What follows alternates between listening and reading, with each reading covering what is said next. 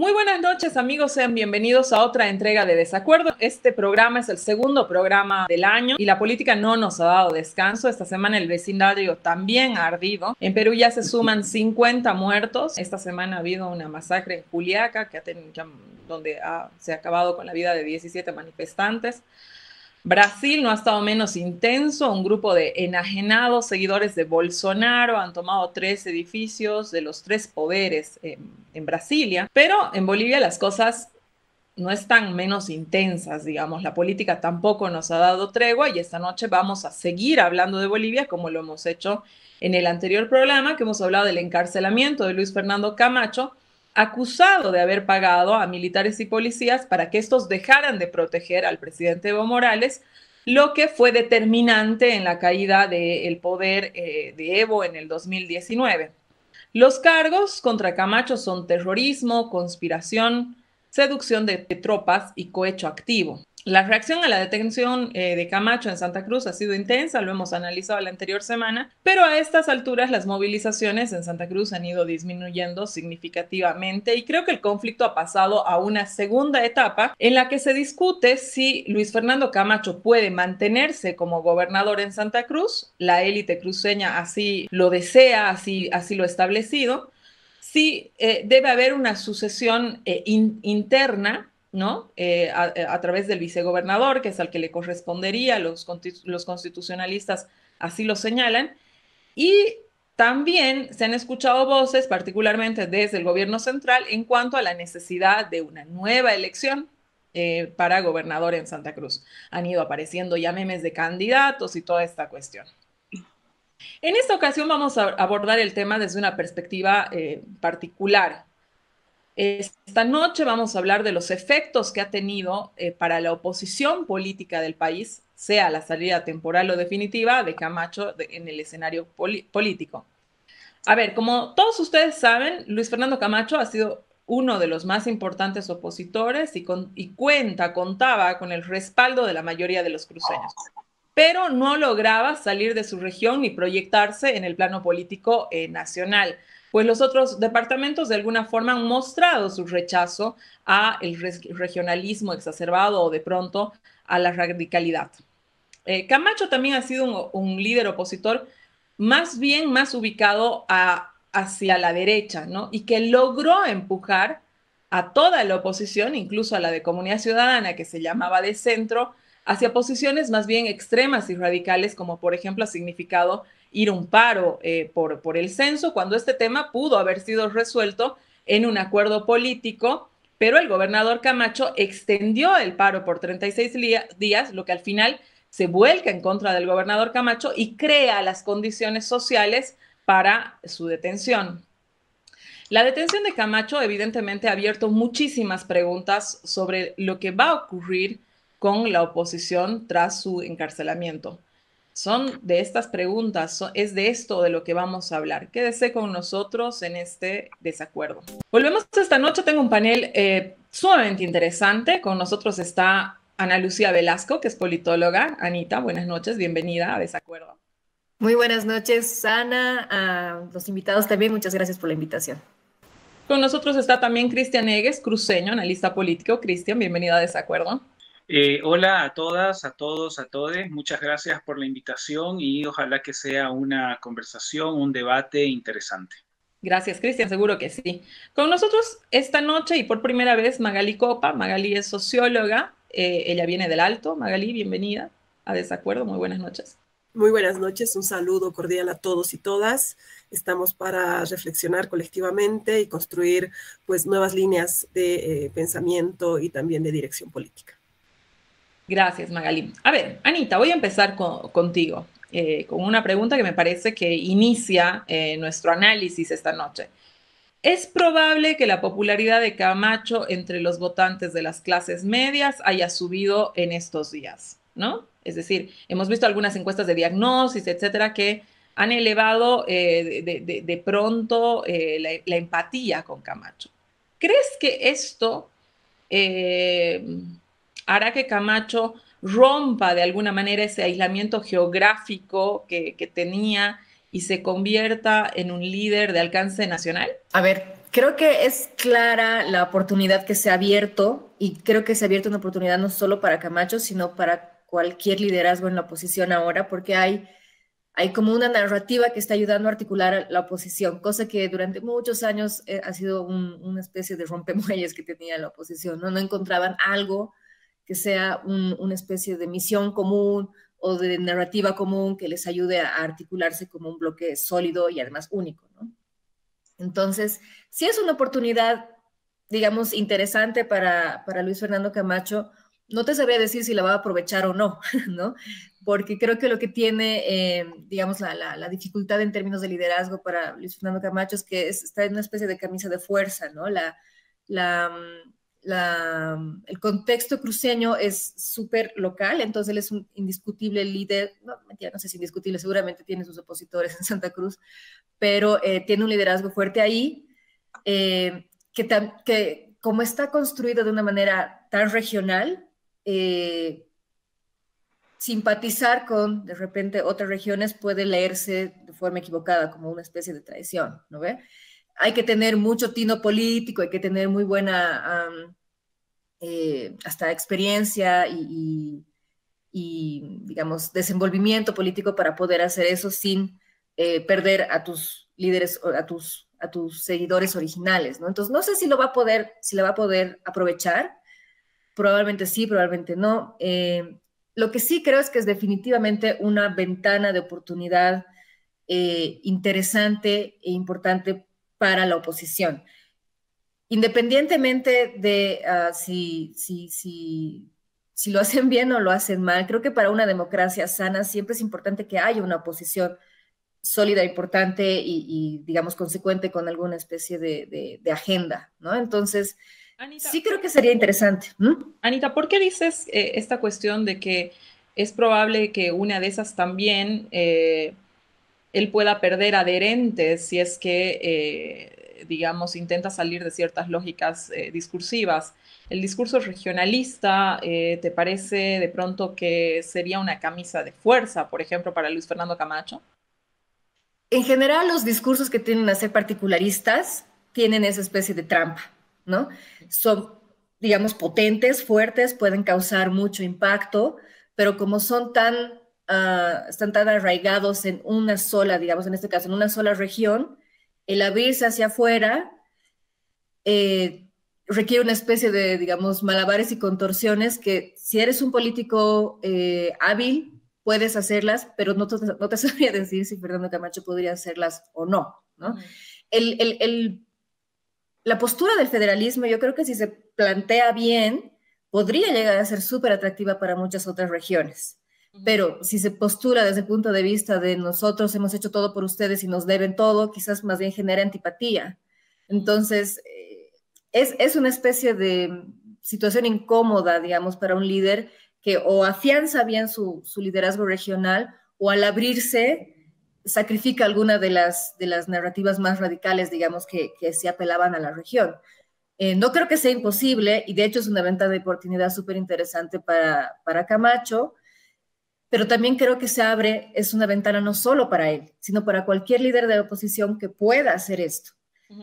no sé si habrá uno que lo aproveche. Y ahí la otra, la, otra pregunta, Anita, ¿estarán dispuestos los partidos collas, por decirlo de alguna manera, eh, que son también de oposición al MAS y que de pronto eh, tienen más votación en el occidente del país, porque el oriente de pronto se lo come Camacho, a aliarse con Camacho, a adoptarlo como su líder?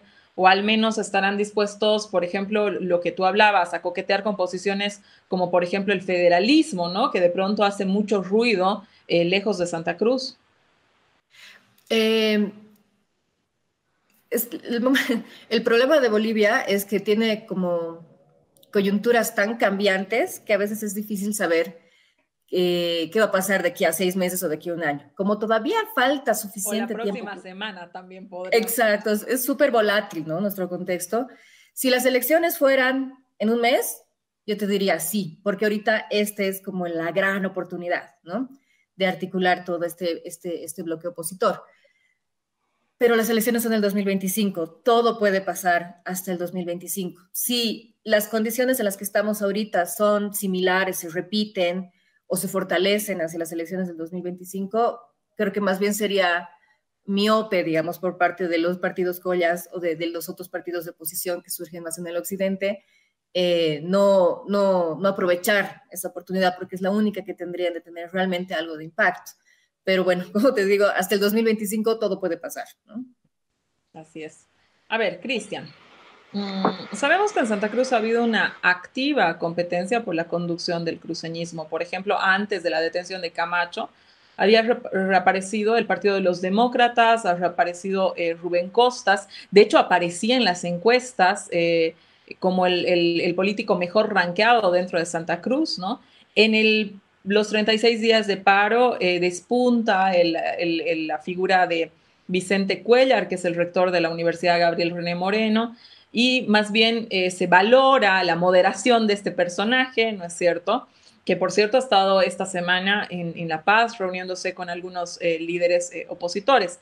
Pero pareciera, Cristian, que pos la detención de Camacho, se vuelve al, principio, digamos, al primer escenario donde Camacho pareciera ser el líder indiscutible de la región. ¿Es así? ¿Así se ve desde Santa Cruz o cómo lo están leyendo desde allá?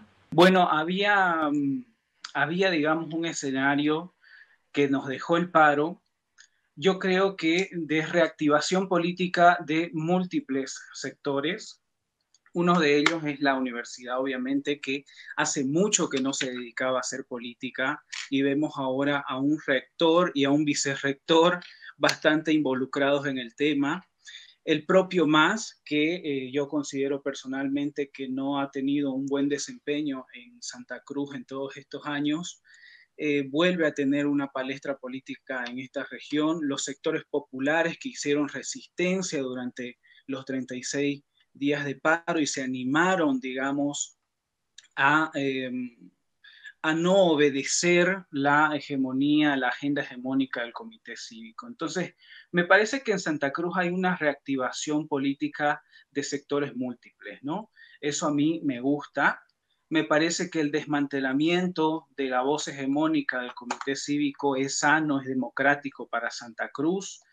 Em, el liderazgo indiscutible de Fernando Camacho, a mí me parece que no, no va precisamente por el destacamiento, por, eh, digamos, eh, por el valor que haya tenido su gestión como autoridad. De hecho, sus dos años de gestión, que hasta ahora, fueron bastante mediocres, apocadas, sin ninguna trascendencia para Santa Cruz.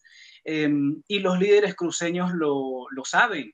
Por eso últimamente yo he visto que eh, se de pronto hacen distancia de eh, crear a Camacho o volver a Camacho, que esto cualquiera lo haya pensado, que Camacho se haya vuelto un, héroe luego de su captura, de su encarcelamiento, y no ha sido así. de hecho, los discursos, los manifiestos, los argumentos más si es que se les puede llamar argumentos a lo que dicen las hegemonías cruceñas, toman distancia de Fernando Camacho, ¿no? Me parece que el encarcelamiento de Camacho lo que va a hacer en realidad es fortalecer una narrativa común que llamaba Ana, que yo creo que ya no es por, eh, por cosas tan concretas, sino, como, sino que es una paranoia política. La narrativa común de la oposición a partir del encarcelamiento de Camacho se está eh, centrando en el discurso de la libertad, de la democracia y una serie de paranoias y de teorías de la conspiración de que nuevamente esta narrativa, ¿no? Que nos vamos a volver Cuba, que nos vamos a volver Venezuela, que nos vamos a volver Nicaragua, que se va a acabar la familia, que se va a acabar esto, esto y esto. Entonces, eh, creo que esa, ese discurso es el que se está fortaleciendo ahora con el, con el, encarcelamiento de Camacho. Es curioso esto que, apuntas, eh, Cris, eh, por el hecho de que es verdad que Camacho sale del centro de, las convocatorias, ¿no? Eh, no es una, convocatoria, digamos, en las movilizaciones mm, ni del mismo Santa Cruz, tampoco en el resto del país, pro la liberación de Camacho en sí mismo, ¿no? Sino es una convocatoria que evoca banderas como la democracia y la libertad. ¿Por qué crees que hacen esto? Bueno, resumidamente, digamos, Camacho ha tenido una gestión muy pusilánime, pero no es solamente una característica de, Camacho, es la característica de todas las derechas, ¿no? Eh, a nivel mundial, a nivel nacional. La derecha no sabe gobernar. No sabe gobernar, no cree en la democracia, no cree en el Estado de Derecho, no cree en un gobierno del bien común. Lo que no obtienen a través de la democracia, porque no creen en eso, eh, lo, lo, consiguen a través de agendas eh, antidemocráticas, lo consiguen a través de agendas petarderas, lo consiguen a través de agendas recalcitrantes, em, ejercen una política de, barra brava. Em, sin embargo, me parece em, que la oposición hoy tiene una oportunidad para eh, o ha encontrado una oportunidad en, el encarcelamiento de Camacho para revitalizar su... A ver, Cris, eh, a ver, los políticos, eh, has hablado de varias cosas interesantes sobre lo que sucede en Santa Cruz y cómo de pronto desde fuera de Santa Cruz nosotros leemos de lo que está pasando en Santa Cruz y desde, desde dentro se lee de otra manera. Los políticos necesitan una constante exposición y el constante contacto de la gente, es obvio, es natural, porque para hacer el, ejercicio eh, político, ¿no es cierto? Naturalmente tienen que estar cerca de la gente, eh, no sé, en contacto y toda aquella cuestión. Estar en prisión obviamente te impide ese ejercicio. ¿Crees que la centralidad de Camacho vaya, se vaya a mantener por un tiempo o crees que vaya a decaer conforme pase el, tiempo y, quizás em, la estrategia que se tiene de mantenerlo como gobernador sea precisamente para que eh, Luis Fernando Camacho no vaya decayendo en cuanto a, eh, a, su visibilidad, a su permanencia en la mente de la gente eh, todo el tiempo. O sea, quizás sea una, una, estrategia para tenerlo presente. ¿Cómo, cómo lees esto? Porque mm, evidentemente lo, lo, que, lo que tú, tú explicabas, ¿no?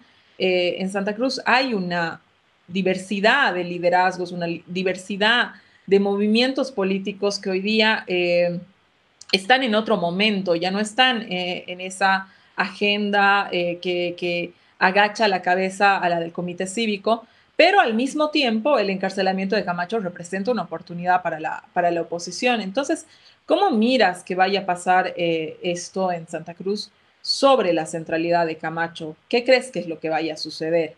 La agenda de la oposición cruceña, que ya sabemos que es de ultraderecha, ultraconservadora, ultra religiosa, esto yo lo tengo que decir porque es el lugar de donde vengo, absolutamente machista y homofóbica, históricamente homofóbica, necesita de un líder eh, radical, ¿no? Necesita de un líder eh, que se anime a agarrar el micrófono y subirse a una tarima a, eh, a disparar arengas. Necesita de un líder joven con la fuerza, digamos, que evocaba Camacho para salir a gritar y ejercer esa política de barra brava tan característica de esta derecha cavernaria gobernante en Santa Cruz. La derecha de, de ahora no, no tiene otra opción más que Camacho el señor, eh, se, me ha ido el nombre del, subgobernador Aguilera. Eh, Mario, Mario Aguilera. Mario Aguilera. Es un señor que viene de la, de la burocracia de la derecha, ¿no? Ha sido director de todos los emporios económicos cruceños, un señor de camisita, eh, que no cumple la misma figura que Fernando Camacho, ¿no? Entonces necesitan reciclar una y otra vez lo que Fernando Camacho dejó instalado como eh, ejercicio político o como modelo de ejercicio político en Santa Cruz, ¿no? Yo no sé hasta, hasta dónde les va a alcanzar, porque esto es una postura ya muy personal. Yo creo que Fernando Camacho va a seguir en la cárcel por varios años, porque tiene que estar en la cárcel, además, eh, respondiendo eh, a los asuntos pendientes que tiene con la historia boliviana, a, los dos hechos principales que eh, lo, lo hacen caer en la, en la cárcel, que es explicar cuál fue su papel para el amotinamiento policial y militar de 2019 y explicar sus eh, transferencias bancarias millonarias y para qué las usó. Bien. Magalí, voy a aprovechar que tú eres salteña para pedirte que nos hables un poco de los efectos de la detención de Luis Fernando Camacho en los sectores eh, plebeyos eh, en el occidente del país, que me parece que de esto se habla poco. Me parece que hay instancias incluso formales desde el alto que han apoyado abiertamente la, medida. De hecho, ayer salió un comunicado del Colegio de Sociólogos de la Ciudad del Alto que apoyaban eh, la medida del encarcelamiento de Camacho.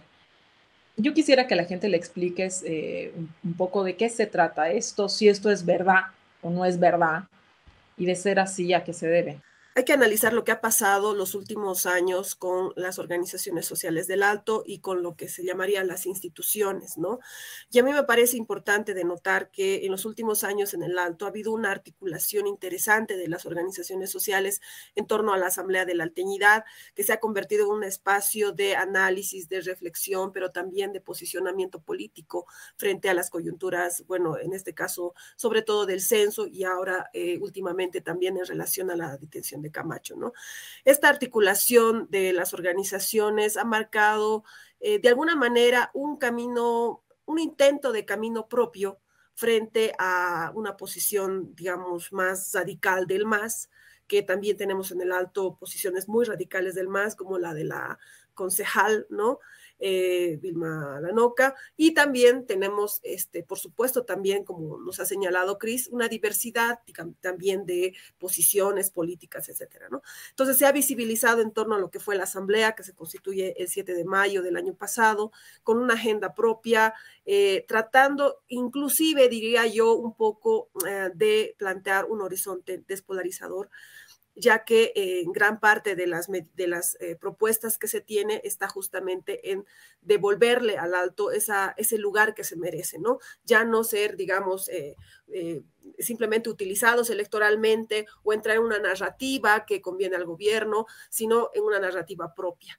Desde esa perspectiva, la posición de la Asamblea de la Dignidad eh, a la cabeza de su presidente, Marcelo Maita, ha sido precisamente de ver el conflicto más allá de lo que los políticos nos, nos quieren llevar, digamos, en términos del golpe, no golpe y las narrativas tradicionales de la polarización, sino más bien hacia una narrativa de reivindicación por los muertos, eh, eh, asesinados, torturados, heridos de Sencata, eh, bueno, de noviembre del 2019, ¿no?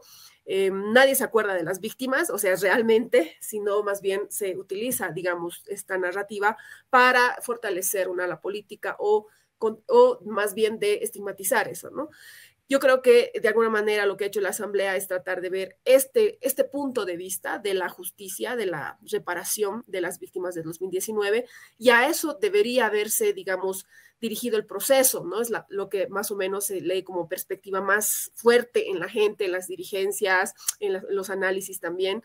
Y creo que más bien lo que se ha hecho con Camacho es dirigirlo a una ala mucho más política, eh, de extremos políticos, que a lo mejor eh, no están eh, orientadas a lo que realmente la gente está viviendo y lo que realmente quisiera que se vea en este proceso contra Camacho, ¿no? Este apoyo que existe desde el alto a la detención de Camacho se explica en una parte por aquello que tú dices, que es el tema de lo de las víctimas y de lo que aquello que ha vivido eh, el alto en Sencata, ¿no? En cuanto a los muertos, a los torturados, detenidos, encarcelados, perseguidos, etcétera, etcétera, y todo aquello que, que sabemos, ¿no? Y de pronto, eh, la, pregunta está en que si tú ves una oposición que está tomando en cuenta esta sensibilidad, ¿no? Eh, o sea, esta sensibilidad de lo que está sucediendo eh, en, el alto, más allá de las retóricas polarizadoras que, que, tú bien explicas, ¿no? Es que existe un sentimiento que es real en la población alteña, que está ligado a la búsqueda de justicia, porque ahí, ¿no es cierto?, han muerto eh, personas, se han torturado personas, se han ejecutado personas de, forma sumaria, se ha torturado, etc. Y pareciera que la oposición olvida de alguna manera estas sensibilidades, ¿no? O, eh, la oposición en general olvida los sentimientos que están más ligados, digamos, a poblaciones eh, que se reconocen como indígenas y de alguna manera deja que estas poblaciones o estas personas reconocidas así a sí mismas como indígenas, tengan como única alternativa política de pronto al movimiento al socialismo, ¿no es cierto? Yo creo que es importante mm, analizar desde otra perspectiva lo que pasa en el alto. Eh, lo que yo veo es que sigue existiendo de alguna manera una fuerte injerencia del MAS en el alto, en algunos grupos eh, más radicales, no solo a nivel político, sino también a nivel social. Esta radicalidad eh, se manifiesta muchas veces en, digamos, analizar el tema de Sencati Sacaba como una especie de victimización para los políticos, para el propio poder. O sea, el MAS, el Evo se victimizan con ese hecho dejando a un lado a las verdaderas víctimas de estos procesos políticos y sociales. Desde esa perspectiva, yo sí considero que en el alto hay una necesidad de crear, como tú dices, una narrativa propia que vaya orientada hacia un proyecto político, como lo decía el manifiesto de la Asamblea de la Altenidad, de recuperación del sitial de la ciudad del Alto como ese eje político histórico de lucha, pero también como ese eje, económico que debería ocupar. Yo creo que sí tienes razón en el sentido de que eh, la polarización, esta, esta disputa entre polos radicales de políticos está orillando a, eh, digamos, ir a, forzadamente a apoyar al MAS en este tema de, eh, de estas narrativas que también están en los medios, ¿no? Y creo que lo que necesitamos más bien es de considerar otras narrativas. Yo creo que sí es posible construir otras narrativas, lo veo claramente en la posición de eh, crítica de muchas dirigencias, pero también de muchas instituciones en el alto, de construir algo más bien propio, eh, de construirse en, eh, en contraposición a esta mirada del oriente que, bueno, para el occidente está marcada de mucho racismo, de mucho clasismo y también en comunión con el Oriente respecto a pues la lucha de sectores populares y sociales que en este momento, más allá, digamos, de la disputa polarizadora de los partidos políticos, sí considera en riesgo sus derechos, eh, sus reivindicaciones y sí considera que hay todavía una promesa esquiva, como diría algún analista, hay una promesa de que no se ha cumplido muchas cosas de lo que se ha dicho en la constituyente o en el Estado plurinacional. Hay una mirada crítica contra el gobierno en el sentido de que estas promesas no se han cumplido y que esta, esta, esta mirada crítica cada vez se hace más pequeñita frente a toda esta avalancha polarizadora que se nos viene y que nos permite o nos impide mejor tener una mirada mucho más clara, mucho más crítica, pues a la, a la actuación del gobierno en mi opinión, digamos, pienso que el gobierno de alguna manera esta, este discurso eh, revanchista y la detención de Camacho le ayuda a mantenerse, a tener cierta vigencia, pero no le ayuda a visibilizarse eh, como un proyecto a futuro. Eso es preocupante y también del ala de Camacho, porque lo que deberíamos pensar ahorita es cómo construimos una bolivianidad con un proyecto común. ¿Y cuáles son nuestros proyectos comunes? Con Santa Cruz, por ejemplo, recuperar la justicia, luchar contra la corrupción, el tema de la salud, la economía, ¿no? pero no, estamos ahorita como peleándonos entre Occidente, Oriente, con posiciones que radicalizan los políticos para sus conveniencias políticas coyunturales, ¿no? La política bebe mucho de los clivajes y bebe muchísimo de la polarización, ya nos contará Anita eh, sobre eso en el siguiente bloque, que Anita se ha estado dedicando a hacer unos estudios bastante serios sobre eh, polarización y proponernos la, de la despolarización. Pero evidentemente la, la, detención de Camacho, desde mi perspectiva, más bien contribuye, a onda esto y eh, estas narrativas, digamos, de alguna manera, cada uno, por supuesto, todos aquí en esta mesa también tenemos una posición política que en ese, digamos, marco, ¿no? De, lo que sucede, definitivamente yo coincido contigo, Magali, en que te orillan a un lugar, ¿no? O sea, es, es tan grande, es tan fuerte que, que te, definitivamente te termina orillando a un lugar y nos olvidamos de estar, digamos, eh, visibilizando los, los temas importantes, como por ejemplo el caso de búsqueda de justicia para las víctimas de Sacaba y Sencata, por ejemplo, ¿no? Eh, me tengo que ir a un corte, voy a volver a continuar este análisis que se eh, con nosotros en esta noche con este desacuerdo.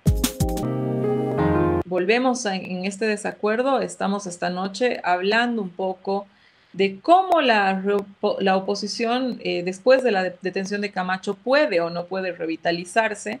¿Es una ventana de oportunidad? ¿No lo es? Al parecer eh, sí. nuestros analistas creo que coinciden en señalar esto, pero todavía no es claro cuáles son los rumbos que estos eh, podrían eh, tomar.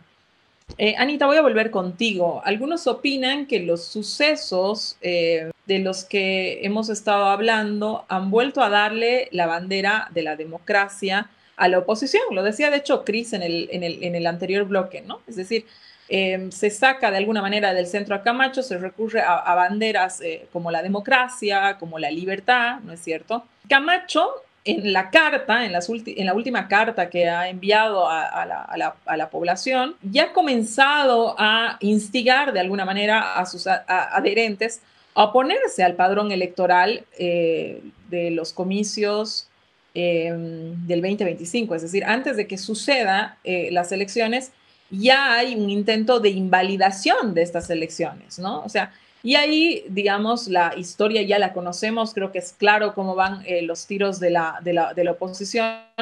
Y lo que parece otra vez, y creo que mm, esto ya ha aparecido en otras coyunturas eh, recientes, pero que lo que parece otra vez es que existe eh, un intento de reeditar lo del 2019, porque ese, ese camino sí ha tenido éxito, a diferencia de cualquier otro. Y, por ejemplo, Chris dice, la oposición de pronto no cree en la democracia y, de pronto eh, las respuestas que los caminos electorales no le han dado, los resultados que de pronto sí han dado eh, el, camino del, 2019, ¿no?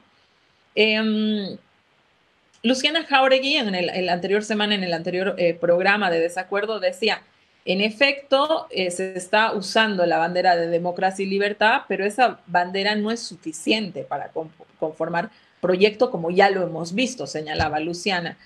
¿Crees, eh, Anita, que se pueda reeditar eh, una crisis eh, de, parecida a la del 2019 cuando, digamos, de pronto las retóricas que, está utilizando la oposición te, te conducen más bien a, a pensar que eso es lo que buscan? Creo que decir si se puede reeditar, de alguna manera tiene implícita la idea de que el 2019 fue un capítulo que se cerró y que hay un grupo de personas que quieren volver a abrirlo porque, como tú decías, les funcionó. Y yo creo que ese sería un error bien grande que nosotros como ciudadanos o el movimiento socialismo uh, podría adoptar para leer lo que ha pasado. La, la, la, caja de Pandora, por decir así, que se abrió el 2019, no se ha cerrado.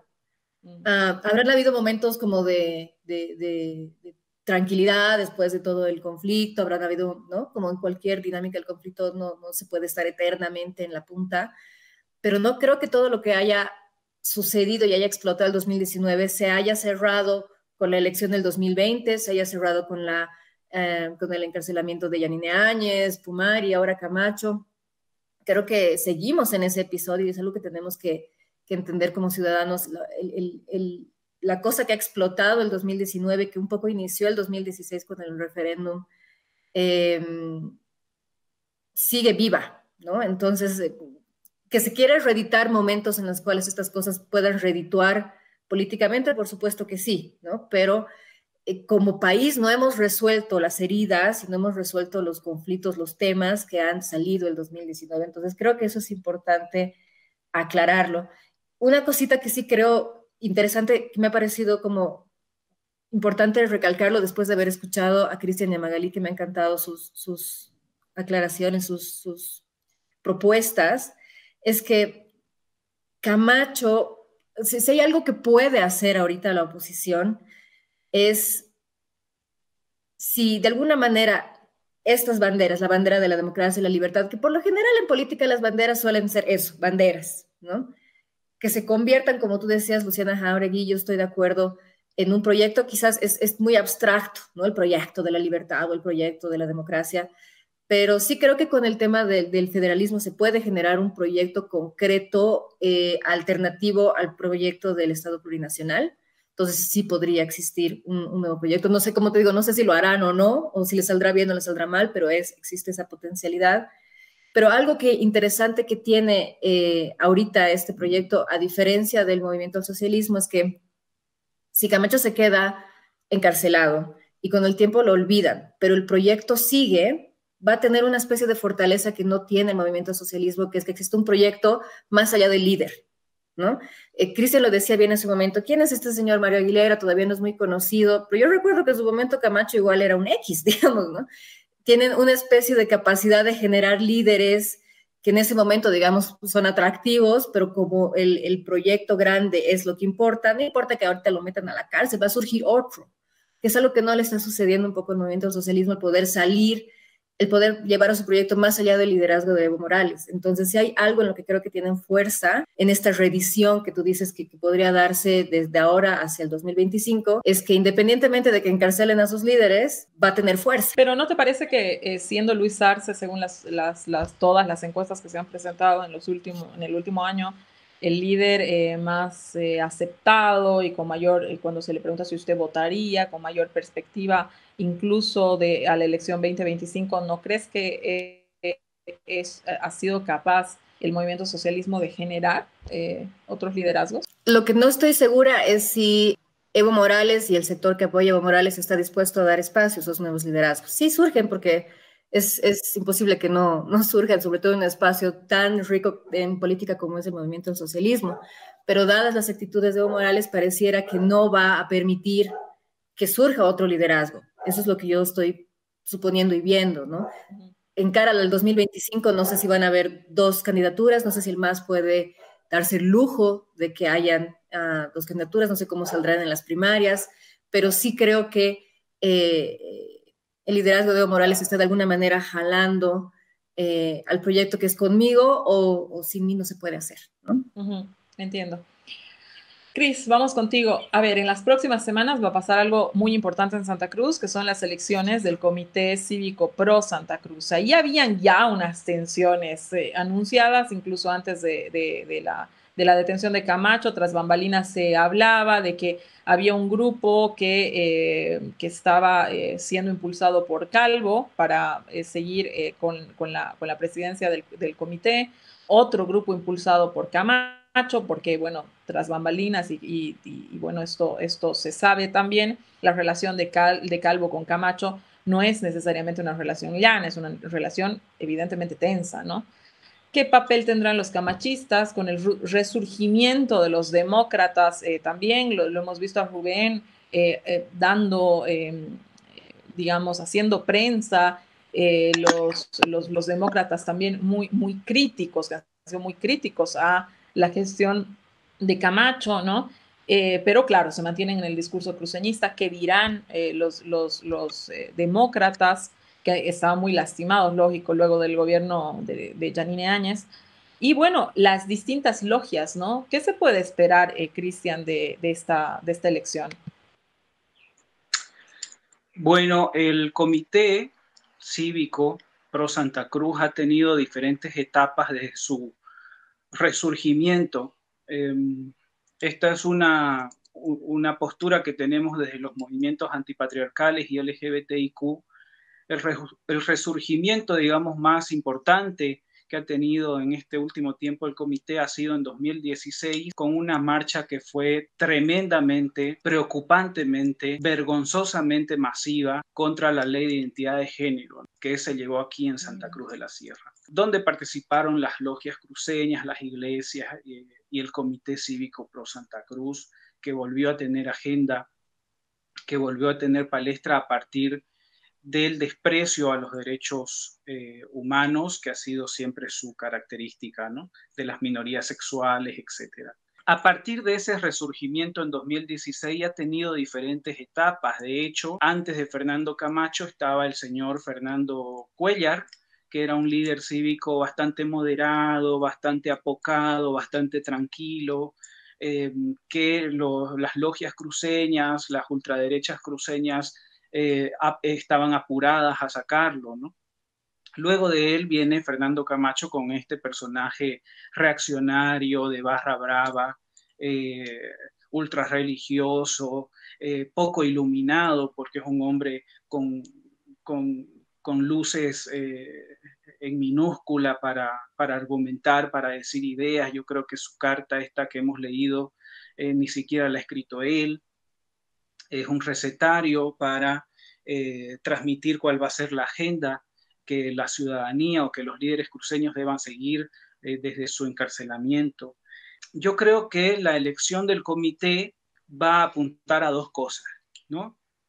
Uno, a reafirmar la agenda histórica eh, del Comité Cívico como institución que ya van a cumplir 73 años, nunca han tenido una presidenta mujer. Hace unos años, cuando María Cristina Vizcarra postuló a la candidatura del comité, lo único que hizo fue el ridículo. Van a reafirmar su carácter anti-LGBT, antifeminista. Eh, el año pasado, el 25 de noviembre, no se marchó, eso es gravísimo en un departamento con altos índices de violencia. No se marchó porque estábamos en pleno paro de, cívico. Yo creo que esa violencia, esa represión a los movimientos antipatriarcales se va a fortalecer, se va a buscar a alguien que tenga una postura, digamos, eh, evidente contra estos movimientos. Se va a continuar con la línea, por supuesto, tiránicamente homofóbica, machista, regionalista. Em, se va a reafirmar, además, se va a buscar un líder que venga a reafirmar lo que estamos viendo en este momento, ¿no? El carácter patronal amenazante del empresariado privado, voy a decir, no voy a decir Santa Cruz, del empresariado privado cruceño que tiene capturada eh, la actividad agrícola en el país y que ha decidido, eh, digamos, no suministrar sus productos al resto de las, a, las otras regiones, ¿no? Se va a necesitar un líder que venga a reafirmar eso con, con mayor radicalidad. Em, y segundo, creo que van a necesitar, eh, yo no espero tanto del comité, eh, es, eh, es decir, no, no es que le doy demasiada, no es que tengan demasiadas luces en realidad estos señores, yo creo que van a buscar una calca de Fernando Camacho, de hecho, es muy chistosa la mentalidad monárquica que tienen con su hijo, ¿no? Impulsándolo al hijo a que hable, un chico que se reía mientras discurseaba, ¿no? Que seguramente estará feliz de no tener a su padre que, y, reemplazar él la figura de autoridad en su casa, en su economía, en sus cuentas bancarias, en sus negocios. Em, entonces van a buscar una calca de Fernando Camacho, un, personaje seguramente joven, que no esté tan cansado como Rómulo Calvo, que no pierda los estribos de forma tan, tan fácil como lo hace Rómulo Calvo, que sea, eh, que digamos despierte simpatías en la población cruceña. Y esto es grave porque, eh, con esto termino la idea, el comité cívico no es una institución pública, no es, eh, sus líderes no están elegidos democráticamente por voto popular. Es una institución que no es ni siquiera producto de la democracia, es, anterior, digamos, al, ciclo democrático boliviano y no ha cambiado nada en sus valores eh, y en sus principios como institución, ¿no? Tienen 73 años, ya lo dije, eh, y sigue siendo una institución profundamente cavernaria que trabaja y, eh, a partir y en favor de los intereses de las, eh, de las clases privilegiadas cruceñas. Cualquier, entonces, cualquier bloque desde tu perspectiva que vaya a hacerse el comité, ya sea el bloque de Calvo, el bloque de Camacho, el bloque de los rubenistas, debe acoger este discurso más bien más radical que otro, porque si no, no funcionaría.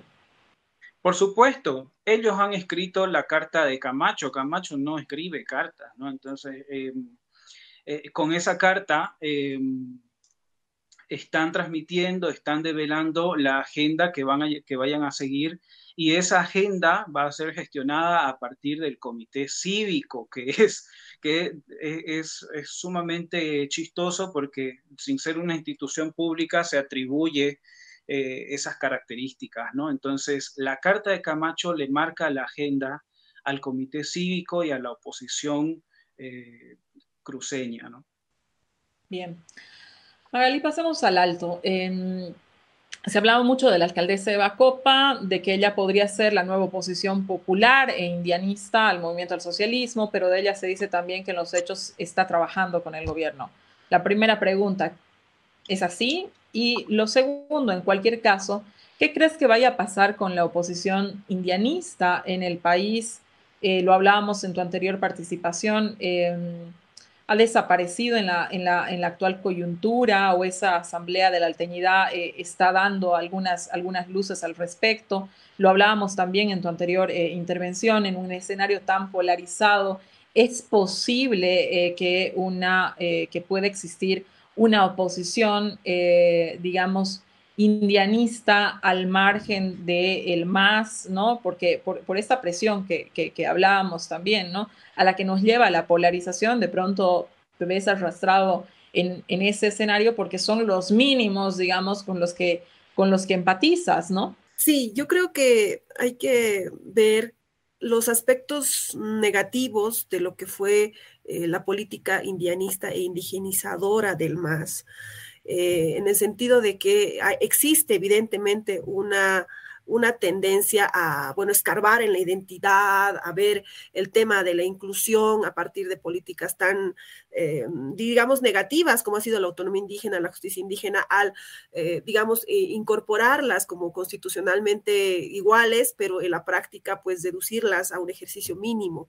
Y yo creo que esto nos muestra una debilidad en el discurso de la indigeneidad y la necesidad de replantear una indigenización eh, o de cuestionarla profundamente a partir de otra terminología que puede ser lo que, bueno, también se ha discutido mucho en el alto, en algunas, sobre todo en la parte andina, respecto a, la, considerar, por ejemplo, la modernidad propia o ver eh, lo que la propia Eva planteaba en su campaña, ¿no? De decir, bueno, ya esta idea de utilizar en todo nombres indígenas o, vestir o o disfrazar a, la autoridad de Poncho, creo que ya no, no refleja el verdadero rostro aymara de, la, de, esta emergencia económica aymara que, por ejemplo, vemos en el Alto, ¿no? Donde pues las familias aymaras están progresando, están avanzando, y este progreso evidentemente no implica dejar atrás la identidad, pero es una identidad que se construye desde los espacios urbanos, urbano-rurales, y desde una eh, construcción de arte, de literatura, de ciencia propia, ¿no? Entonces yo creo que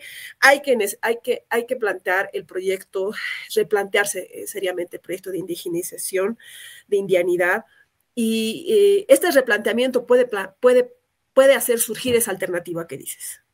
Si seguimos con esta vieja idea de que, bueno, en, del Oriente o de otros partidos de oposición dicen, no, pues ya los indios están incluidos, están súper bien, cuando vemos una realidad de desigualdades estructurales profundas, como sucede en el Alto, donde vemos una apariencia de Estado indigenista, que disfraza a los políticos y no eh, reivindica una identidad propia. Y creo que esta falta eh, de, de, un proyecto que vaya hacia construir esta nueva alternativa es lo que va a definir el liderazgo de alguna manera. ¿Por qué?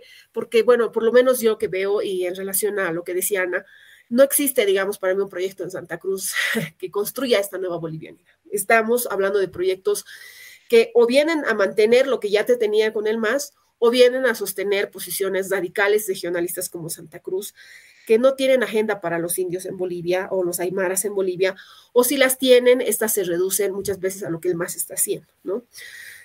Y eh, en ese marco lo que yo creo es que habría que pensar en una... Eh, en un liderazgo, sí, desde el alto, creo que el alto es un lugar donde se tiene una deuda histórica, pero que vaya justamente a fortalecer eh, una relación eh, mucho más directa entre lo que sería el partido político, la opción política y las estructuras sociales. Lo que pasa también es que hay mucha distancia entre la clase dirigente y las bases sociales, que muchas veces están en otra cosa, ¿no? Que están en, su plan de sobrevivencia, están buscando condiciones de vida mejores. En cambio, eh, pues los liderazgos muchas veces son frágiles porque estos fácilmente generan este, élites, como está haciendo la CETUCB, y acá hayan posibilidades eh, plurales, como ha pasado con la CONAMAC, con la CIDOB y otros espacios pues, de eh, divergencia. ¿no? Yo creo que sí es importante construir una, una, alternativa. Eh, es muy difícil, honestamente creo que está de por medio esta polarización fuerte que está orillando precisamente a que, bueno, lo que era Eva en su momento como una alternativa no masista, eh, ahora, digamos, se ligue un poco, tenga cierta afinidad, pero también en el marco de una gestión gubernamental con ARCE. Y bueno, la última cosa que quiero decir es que, bueno, el MAS no es homogéneo en este momento, hay una fragmentación muy fuerte.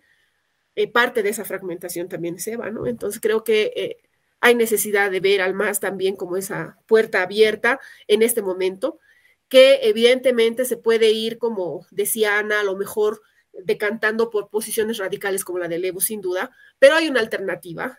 Eh, se ve, por ejemplo, en el conflicto de Perú, mucha diversidad en la lucha de los, de los peruanos, ligada mucho a las luchas de, de Bolivia, que bueno, aparentemente están, digamos, como visibilizando algo, pero yo veo en la base social que más bien hay una suerte de generar un proceso, un proyecto común, un proyecto eh, social de lucha conjunta, y yo creo que eso también está en los corazones de, del área rural, del área periurbana, en el caso del occidente del país todavía está muy fuerte la lucha de, eh, por el cumplimiento de los derechos, por construir eh, un país común, porque yo creo que los salteños no piensan en el alto, no son regionalistas, el alto piensa en Bolivia ha peleado por el gas, por Bolivia, ha peleado por una inclusión de todos y todas. Yo creo que esa es la gran ausencia en la política y propuesta de la oposición. Mm, muy interesante. Me tengo que ir a un corte, voy a volver eh, ya a las conclusiones de este interesantísimo y rico programa, porque he tenido eh, miradas desde, desde, desde, distintos lugares, eh, desde distintas posiciones. Así que quédese con nosotros en ese desacuerdo que volvemos a las conclusiones. Volvemos esta noche, hemos estado hablando toda la noche de eh, qué es lo que ha pasado post el encarcelamiento de Luis Fernando Camacho con las oposiciones, la posibilidad de las oposiciones o las distintas oposiciones, con los discursos que, se han estado manejando, cuáles son las ventanas de, oportunidad y también, por supuesto, cuáles son los negativos dentro de eh, estos eh, discursos, ¿no? Ha sido un programa realmente interesante y les quiero agradecer a los tres por haber estado esta noche conmigo.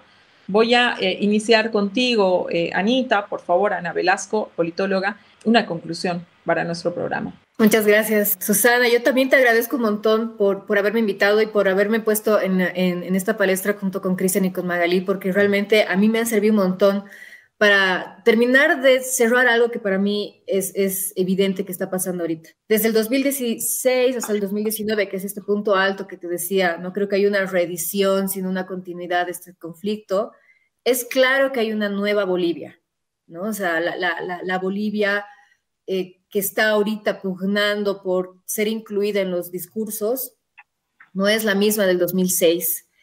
Eh, y las élites políticas, ya sean de derecha, con el comité cívico, como nos contaba Cristina hace un momento, o desde el alto, como nos contaba Magalí, no están sabiendo leer esta nueva Bolivia, ¿no?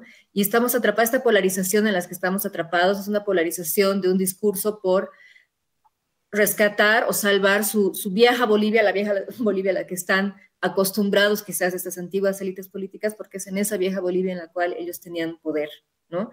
Eh, y es, es triste de alguna forma porque estas nuevas agendas que están surgiendo están completamente al margen de, estas, de estos discursos que están en la polarización, no se habla mucho de ellos, no les prestan atención y ojalá que el, digamos, la forma en la que se vaya a resolver este conflicto que no se ha cerrado desde el 2019 sea a través de la inclusión de estas nuevas formas de entender Bolivia, lo que decía Magali hace un rato, ¿no? Eh, esa forma de entender al indígena como una pieza de museo que hay que disfrazarlo más o menos porque esa especie de baluarte histórico no les permite demostrar su, verdadera modernidad y su verdadera forma en la cual ellos están viendo no solo el Alto, sino Bolivia hacia adelante y lo mismo en Santa Cruz, ¿no?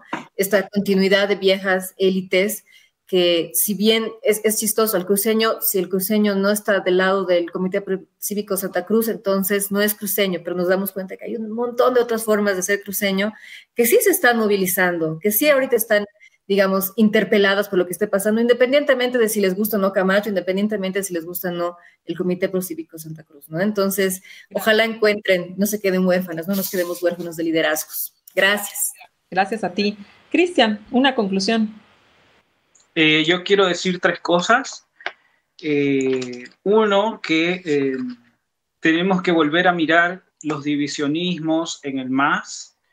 Creo que pueden salir cosas interesantes de esas riñas, de esas peleas internas.